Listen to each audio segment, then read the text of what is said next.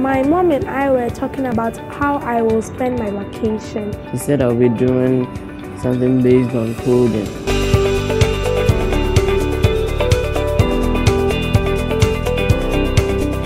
Just back to the Agnes coding class, for instance, they had a 3D class and then they actually came back to the app to be able to print it. We developed our own game, which was Matrix. At the beginning, I thought it was something difficult, but at the end, I got to know it was something easy and simple.